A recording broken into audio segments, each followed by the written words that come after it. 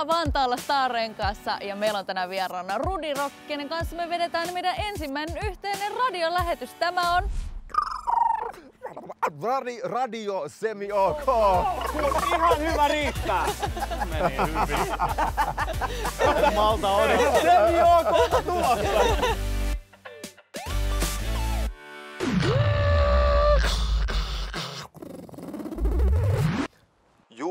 Tiedon mukaan rikospoliisi tiedotti hetki sitten, että vantaalaisen Starrengas Oyn omistaja ja kolme avainhenkilöä on pidätetty. Yritystä epäillään satojen eri asiakkaiden renkaisiin kohdistuneista manipulaatiotoimista. Tämän hetken tietojen mukaan Starrengas Oyn epäilyt huijaukset ovat tapahtuneet normaalien renkaavaihtojen yhteydessä asiakkaiden mitään siitä tietämättä. Ylijohtaja Kovero, mistä Starrengas Oytä nyt oikeasti epäillään? Huijaus on sinänsä ovella, sillä siinä asiakkaiden nastarenkaiden alkuperäiset nastat revitään vaihdettavista talvirenkaista pois uudelleen sulatettavaksi ja muokattavaksi. Samalla tyhjiksi jääneet aukot korvataan halvoilla niin kutsutulla valennastoilla, jotka on yleensä valmistettu kumista tai pahimmissa tapauksissa sellofaanista. Asiakas ei huomaa eroa yleensä kuvasta jarrutustilanteessa sen viimeisen kerran valitettavasti. Me ei olla saatu musiikkivierasta, mutta me ollaan saatu klippi ihan uudesta biisistä ja meillä on etuoikeus soittaa siitä pieni pätkä tänään meidän lähetyksessä. pieni esimaku perjantaina julkaistavasta sinkusta. Bändihän on nimittäin JVG. IVG! Skutsissa mummeli mutsi. Tuli tänne hörttiin. Pöllön silmä skutsiin. Älä päijäni nappaa. Hatsaa. Katkaa. Heittää nappaa. Heittää keikkaa. Breikkaa, sheikkaa. Jos aika jää, niin mummo ja meikka. Kotsi dance.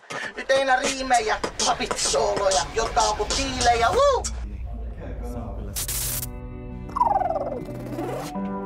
Radio semi ok. Kokeilu näyttää 16.45. Studiossa on Veronika ja Hannu.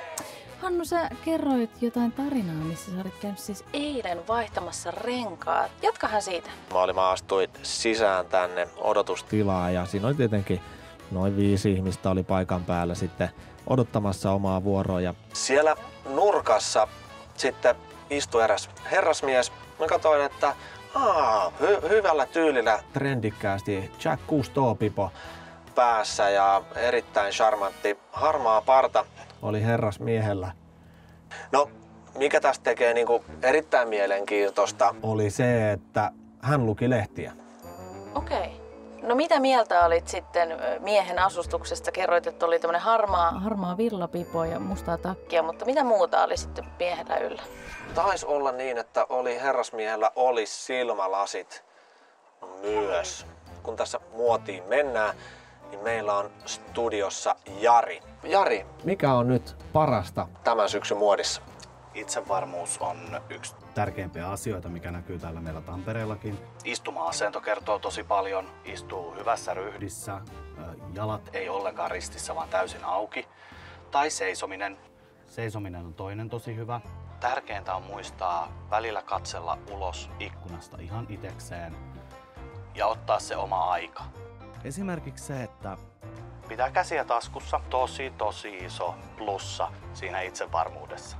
Itse jos lähtisin nyt ulos, niin laittaisin varmaan mustan toppatakin. Äärimmäisen itse varmasti menisin puhumaan suoraan jollekin naiselle, esimerkiksi tiskille. Naureskelisin siinä ja vähän vinkkaisin silmää ja katsoisin ylöspäin ja pyyhkäsisin nenää ja olisi silleen, että tämä on tätä minun itsevarmuuttani. Naiselle sanoisin, että morhym ja lähtisin kohti ovea ja menisin ulospäin ja rapsuttelisin vielä vähän korvan takaa ja yrittäisin etsiä, että kuka täällä nyt oikein